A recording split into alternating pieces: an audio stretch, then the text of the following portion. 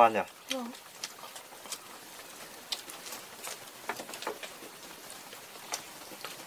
Mày quay là mình thì đúng chỗ nó cạn nước ấy. Ừ. Phải lên chỗ đấy. Nước suối đang to. Mưa nhiều, nước suối đang dâng lên đấy.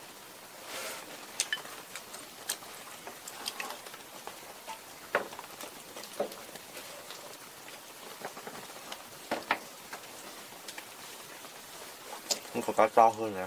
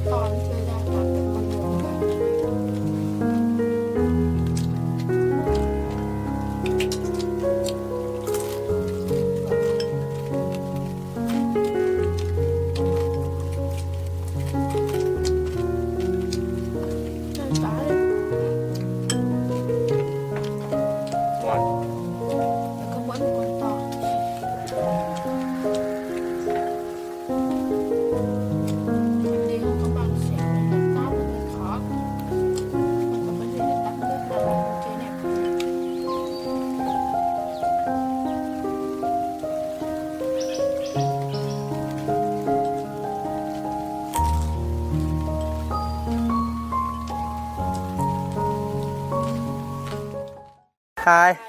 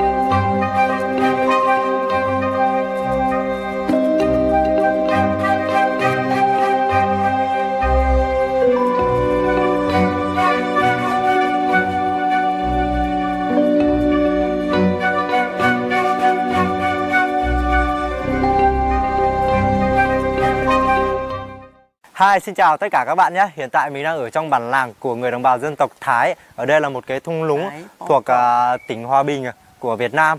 Và ngày hôm nay thì à, mình đang đứng ở trước một gian hàng của một à, bà người Thái. Bà có thể là chào các bạn bằng tiếng Thái được không ạ? Ờ, ờ, là Lan Ma O Đấy. Là Lan Ma O. Lan Ma O là Lan các O. cháu vừa lên thăm đấy Dạ. Thì à, ngày hôm nay là mình sẽ ờ, chia sẻ cho tất cả mọi người về cái à, cuộc sống của người à, dân ở đây để xem là có gì đặc sắc hơn nhé.